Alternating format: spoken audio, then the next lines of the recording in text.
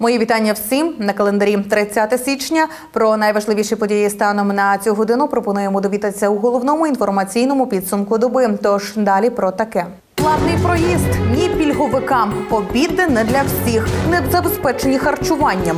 Новинки від лісгоспу, реалізація готових дров, справа ЦАПа, судове засідання, паліативна допомога, відкриття хоспісу, зубопротезування, реалізація програми. Збільшення допомоги при народженні дитини до 70 тисяч 460 гривень. Новий законопроект невдовзі розглянуть парламентарі.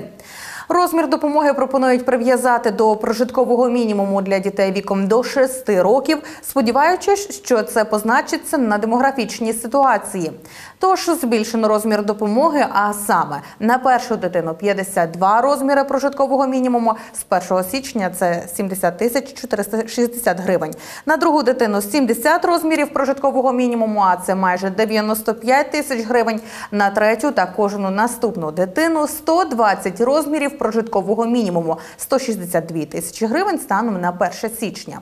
Також пропонують змінити й умови призначення допомоги, зокрема у разі переривання відпустки для догляду за дитиною і виходу на роботу матері дитини на умовах повного робочого часу. Допомогу отримуватиме особа, яка фактично доглядатиме за дитиною, доки вона не досягне трирічного віку. Утім, при роботі на умовах неповного робочого часу допомога виплачуватиметься у повному обсязі. З 1 квітня місячна допомога з безробіття становитиме 1280 гривень. Як повідомив голова фонду загальнообов'язкового державного соціального страхування на випадок безробіття Олексій Мірошниченко, раніше мінімальна сума, яку отримували люди без страхування 544 гривні. Зважаючи на це, нині більшість людей задумується над тим, що вигідніше працювати офіційно і отримувати 3200 гривень, чи неофіційно і отримувати допомогу з безробіття та ще й зарплату конверті. Хоча за кожного неофіційно влаштованого працівника, нагадаємо, на підприємця можуть накласти штраф у 96 тисяч гривень. Газ дорожчає. З лютого тариф для промислових споживачів зросте на 22%. НАК «Нафтогаз України пояснює чергове підвищення подорожчанням газу на європейському ринку. Так, із 1 лютого промислові споживачі, які закуповують газ в обсязі понад 50 тисяч кубічних метрів на місяць на умовах передоплати, матимуть тариф вищий на 22% – 9 тисяч 214 тисяч гривень за одну тисячу кубічних метрів. Для всіх інших тариф зросте на 21% до 10 тисяч гривень за тисячу кубічних метрів. Зазначимо, ще у січні промспоживачі платили по 7,5 тисяч гривень за тисячу кубометрів. На думку експертів, подорожчання енергоносіїв на 22% суттєво вплине на підняття цін. Усе більше фактів крадіжок електроенергії виявляють працівники ПАТ Закарпаття Обленерго. Товариство інформує, що за період із 23 по 29 січня вони виявили 83 факти крадіжок електричної енергії. З них 68 порушників серед населення та 15 в юридичному секторі. Найбільше крали електроенергію впродовж минулого тижня у Виноградівському і Тячівському районах. Найчастіше незаконно споживали електроенергію шляхом пошкодження та зриву пломб на лічильнику. У юридичному секторі відзначилися Ужгород та Мукачево. Загалом нараховано штрафів на загальну суму 427 тисяч гривень. До редакції М-студіо звернулися обурені жителі селища Кольчино. Люди пенсійного віку скаржаться на водіїв автобусів, які почали вимагати від пільгових пасажирів кошти за проїзд. Чому людей змушують платити? Дізнавайтеся з наступного сюжету. Пані Маргарита пенсіонерка. Жінка скаржиться, отримує мізерну пенсію, більшу частину якої витрачає на ліки. А з недавніх пір ще неабияк по кишені б'є плата за проїзд у автобусах, адже водії вимагають повну суму за проїзд з Кольчина до Мукачева. Я їхала 24 числа автобусом Кольчино Мукачево. Мені водій при виході сказав, що ви що не знаєте читати, тут є постанова, вам треба платити. А я кажу, яка постанова? Хто тут ту постанову дав? Нам дали таку постанову платити. А ні, йдіть до начальника. Жінка каже, платити не проти, але тільки якщо водії видаватимуть квитки за оплату проїзду. Також звернулася до диспетчера з проханням ознайомитися із постановою, яка регулює перевезення пільгових категорій. У відповідь почула наступне. А він тоді сказав: ну ви знаєте, ми не маємо ми не маємо такої постанови. Ми не давали таку постанову. але ви каже, повірте й нам, це, тяжка ситуація, треба платити. Я кажу, я не проти платити. На буде треба буде платити, я буду платити. Ну най кажу, приймуть міри до тих, хто дався сю. Прошу, і, і плюс до того кажу, я буду платити, ну най дадуть і білети, кажу. Обурені ситуацією і інші громадяни пенсійного віку кажуть, за проїзд платити доводиться. На сільському платимо. Платимо, бо вони інакше цей не хочуть брати на автобус. А яку суму платите? Ну, половину стоїмості білета. Скільки це? Ну, якщо 6, то 3 гривні. Вони показують бумажки, що їм дають зверху, щоб повну стоїмость платили пасажири, Пенсіонери. пенсіо- пенсіонери, самі пенсіонери. У диспетчерській службі пасажирських перевезень кажуть, посилаються на 2016 рік, коли були проголосовані зміни до деяких законодавчих актів. Там е, змінилися правила надання послуг з перевезення пільгової категорії населення. Як змінилися? Всі е, е, відшкодування е, по цьому е, нововведенню переклалися на місцеві бюджети, на розпорядників місцевих бюджетів. Це сільські, селищні, міські ради. Вони повинні забезпечити, розробити методику, як будуть відшкодовуватися, і як будуть е, далі відбуватися дані перевезення. З перевізниками була домовленість, що у 2016 році пенсіонерів будуть перевозити безкоштовно, поки не буде чітких правил надання компенсацій. У 2017 році коштів ні в районних, ні в обласних та державних бюджетах на відшкодування не закладено. Перевізники вирішили призупинити тимчасово перевезення пільговиків до врегулювання процесу відшкодування, каже пан Георгій. Я, як районний депутат, е, всіляко буду підтримувати і голосувати того, що пільговим проїздом у громадському транспорті повинні користуватися всі категорії, 28 категорій. Якщо будуть знайдені кошти, це буде забезпечено у повному обсязі. Звичайно, я думаю, мене підтримують і колеги по районній раді. Ну, я дивлюся, що це неправильно з одної точки зору. Ну з другої точки зору, якщо допустимо, ми перевозимо пасажирів безплатно, нам держава повинна компенсувати. З нами ніхто договор не заключає. З 2014 року, поч- з четвертого квартала, нам на даний момент не перерахували ні одної копійки. Чи знайдуться кошти для компенсації перевізникам та коли усі пільгові категорії зможуть їздити безкоштовно, питання залишається відкритим. Суд щодо клопотання про відсторонення першого заступника міського голови Ужгорода Іштвана Цапа від виконання службових обов'язків на час слідства перенесли через неявку звинувачення. Прокурори слідчі із невідомих причин на судове засідання не з'явилися. Більше про це далі. Судове засідання у справі обрання запобіжного заходу першому заступнику Ужгородського міського голови Іштвану Цапу перенесли. Причина відсутність слідчого прокурора. Натомість сам фігурант справи, як і його захист до суду з'явилися завчасно. Такий сценарій подій Іштван Цап пояснює нічим іншим, як відсутністю необхідних доказів для задоволення позову. А сама справа розпадається на очах, хоча не виключає нових звинувачень. З тими матеріалами, що ми мали змогу ознайомитися, що на- наразі є в матеріалах, ну, з тим далеко не підеш. Я гроші не брав. Обшуки провели, нічого не знайшли. Зараз треба ситуацію чимось прив'язати, якось і приліпити. Наступне судове засідання відбудеться завтра, 31 січня. У свою чергу Іштван Цап запевнив журналістів переховуватись та виїжджати за кордон наміру немає та чекає представників обласної прокуратури на наступному судовому засіданні. Слід зазначити, що прокуратура також вимагає відсторонити чиновника із займаної посади на період слідства. Клопотання також розглядатиме суд завтра, 31 січня. Нагадаємо, минулого тижня оголосили про те, що Іштван Цап підозрюється у хабарництві за вирішення земельних питань. прокуратурою області Закарпатської слід- слідством нашим спільно з працівниками відділу по боротьбі з корупцією е, Служби безпеки України в Закарпатській області.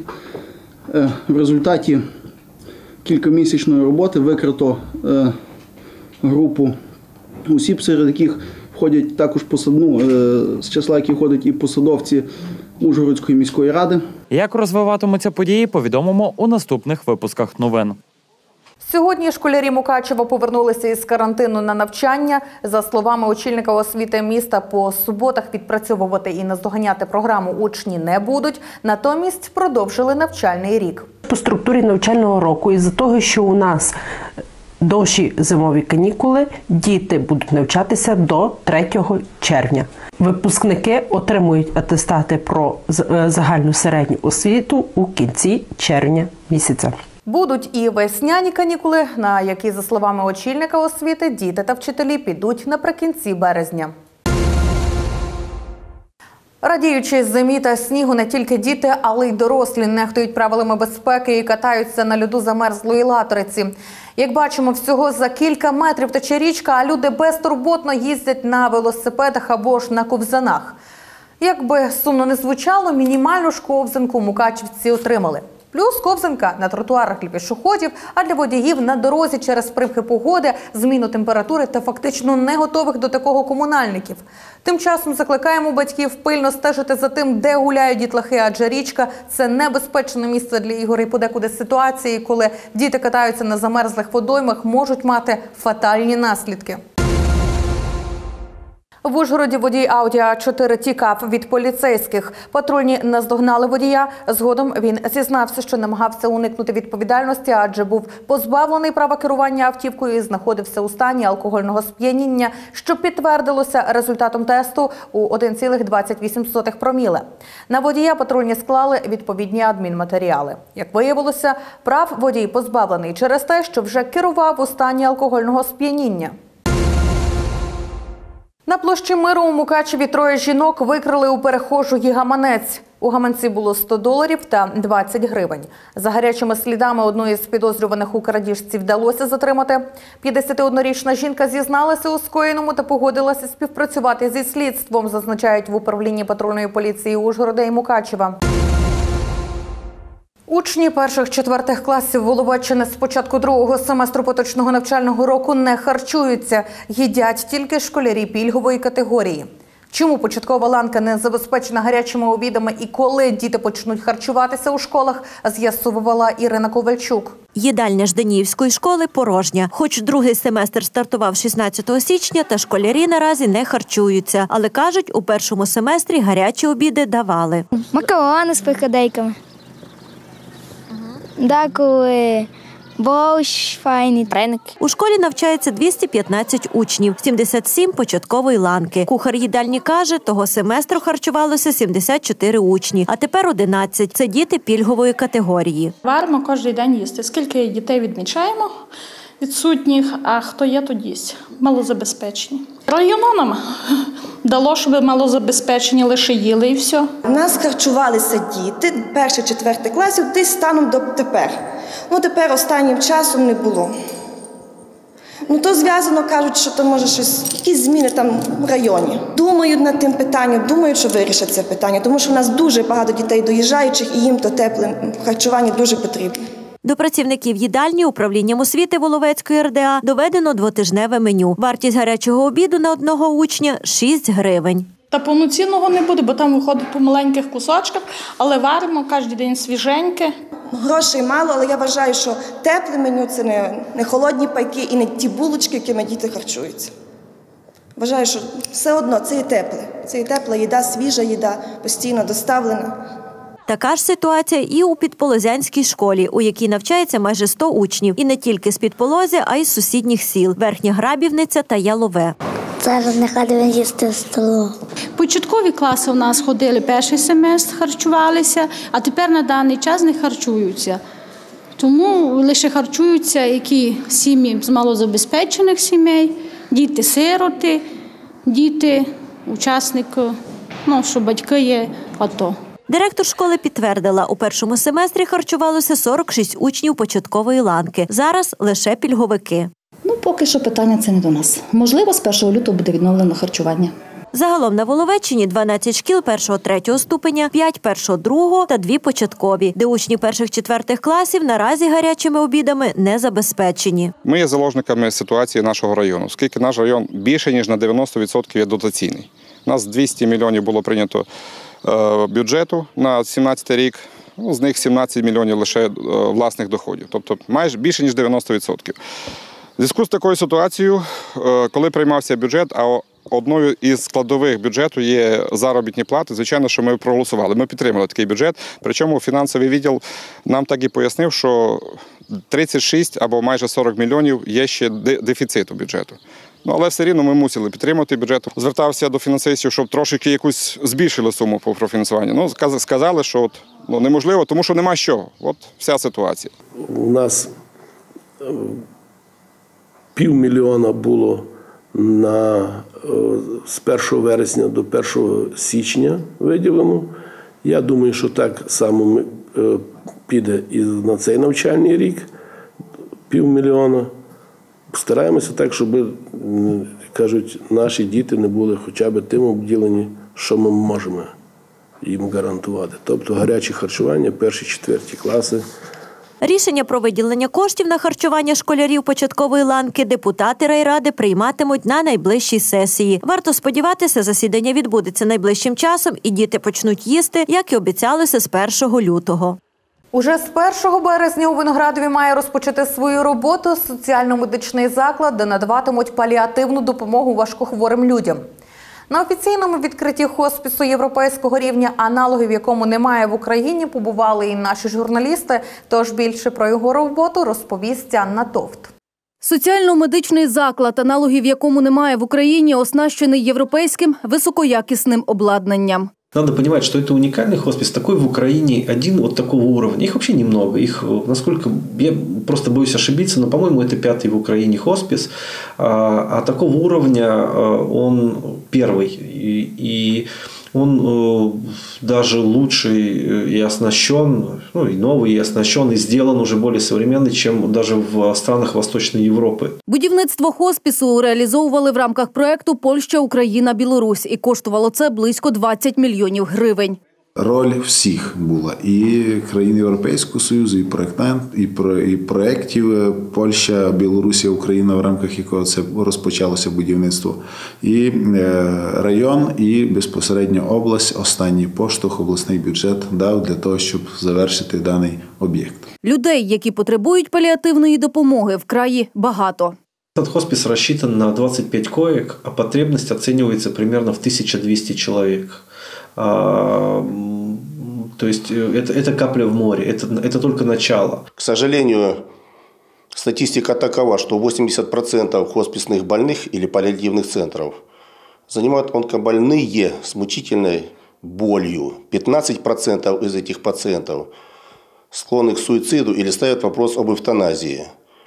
Таких пациентов сделать комфортную жизнь, есть такое понятие в медицине, качество жизни, и достойно уйти в мир иной, можно сделать. И мы обязаны, чтобы человек не мучился. Тому відкриття соціально-медичного закладу, в якому б до останнього боролися за життя людини і робили все, щоб полегшити страждання таких хворих, надзвичайно важливо. Есть пациенты, которые, задумайтесь, в сутки принимают до 20 ампул морфия.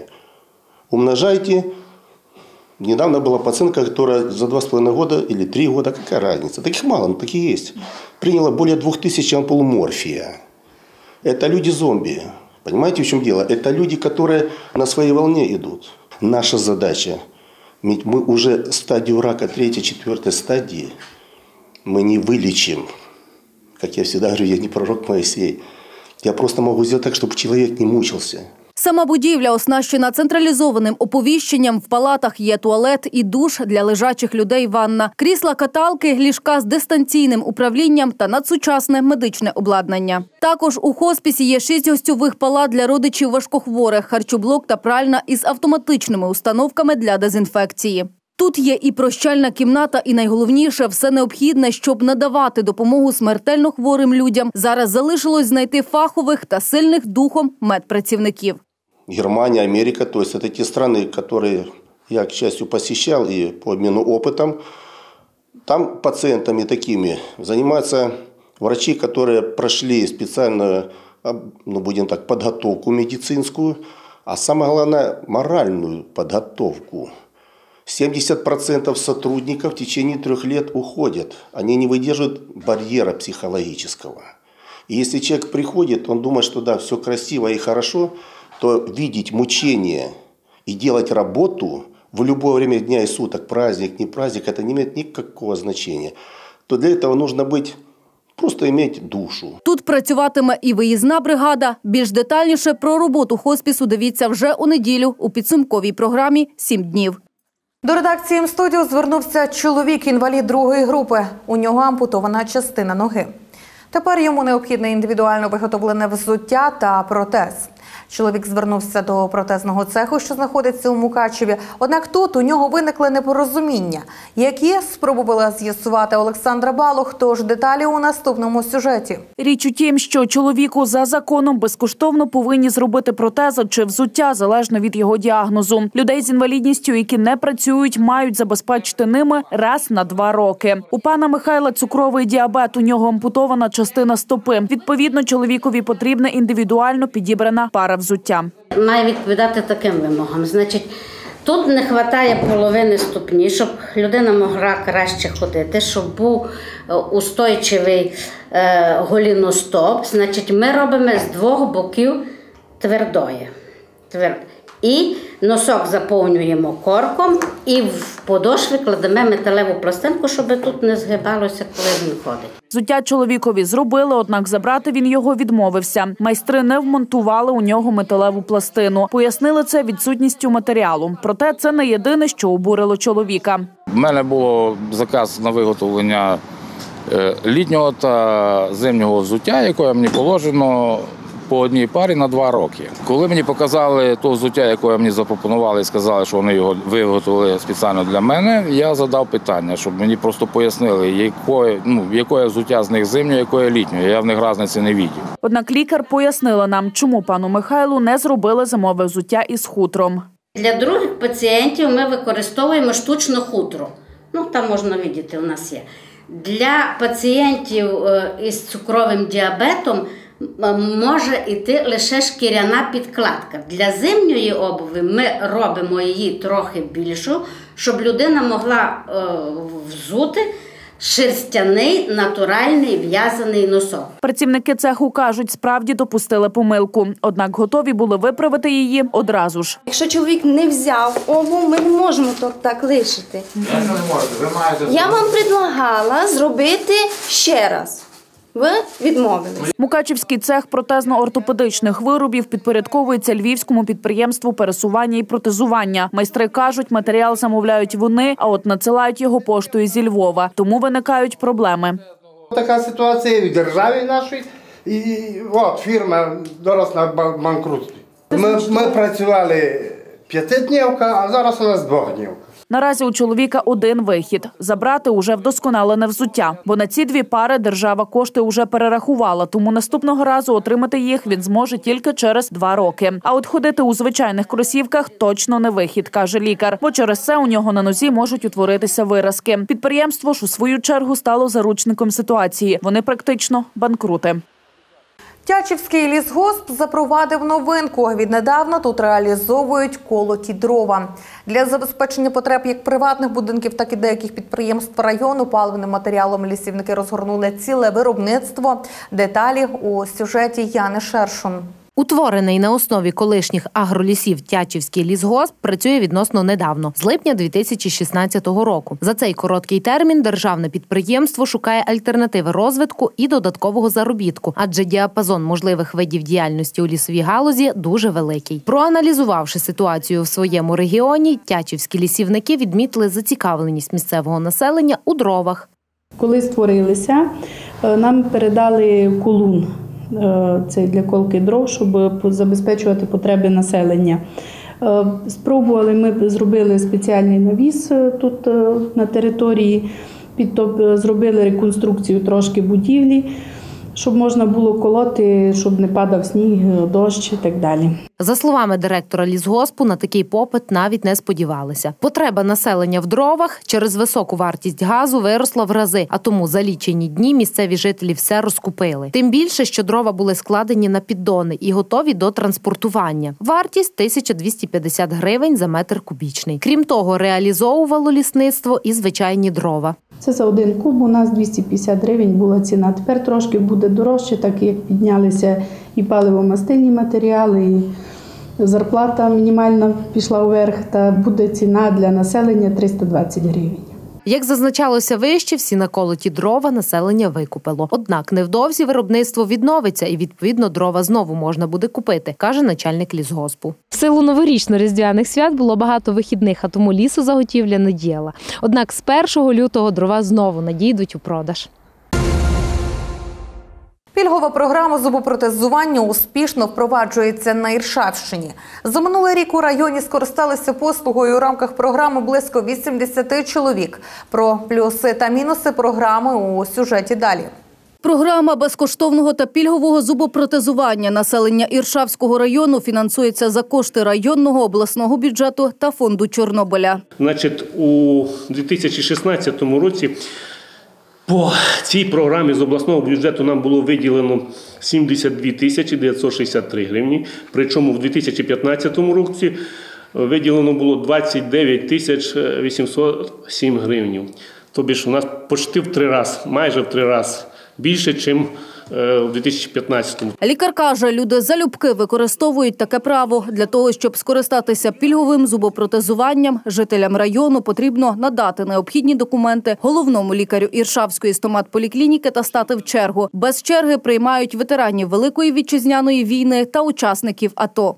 По цій програмі ми маємо право надавати пільги таким категоріям населення: це інваліди Великої вітчизняної війни, учасники бойових дій Великої вітчизняної війни, учасники бойових дій Афганістана, Чехії, Угорщини. Ну, бойових дій в Чехії, Угорщини вони та- також підпадають під дію цієї програми. Значить, е, у прошлому році також включили учасників антитерористичної операції. Також цю програму ми їх в прошлому році 9 чоловік про, ну, пролікували і запротезували.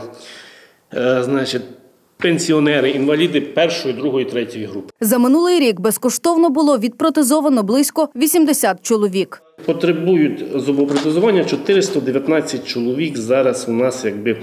Потребують зубопротезування. Ну ви повинні зрозуміти, що це заявлені. Коли підходить черга, ми інколи дзвонимо, люди відмовляються. От вони написали заяву, вони не мають час чекати.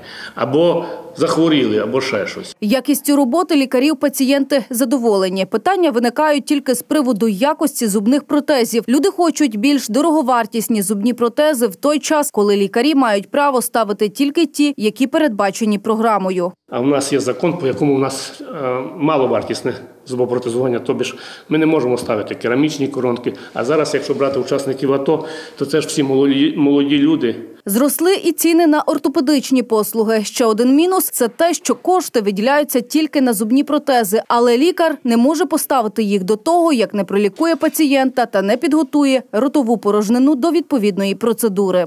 Тож лікарі кажуть, добре було б, якби в рамках програми фінансувалося і лікування пацієнта, а зубні протези були набагато якіснішими, адже від цього залежить комфорт використання та здоров'я ротової порожнини людини. У Виноградові учасники АТО організують популярний в Україні флешмоб «22 віджимання. Також діятиме ярмарок. Виручені на ньому кошти будуть передані тим воїнам, котрі наразі потребують допомоги та підтримки. Про день та час проведення флешмобу повідомлять пізніше. Цим повідомленням завершуємо випуск новин за 30 січня. Проте вже завтра у часі ви побачите. Кадровий голод, робітничі професії у попиті, секретний вертолітний завод, пам'ять про минуле. Це все на сьогодні. Дякую за увагу і за довіру до телеканалу. На все добре.